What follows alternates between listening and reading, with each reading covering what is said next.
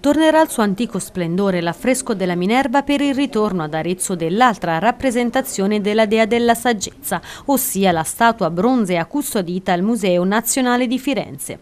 È infatti iniziato il restauro dell'affresco che si trova nell'atrio del Palazzo di Fraternita in Piazza Grande, che sarà terminato entro il prossimo 6 maggio e che consentirà di vedere per la prima volta i colori originali dipinti da Angelo Ricci. Questo pittore eh, dipinge eh, con una tecnica particolare questa eh, dea Minerva, la dea dell'ingegno.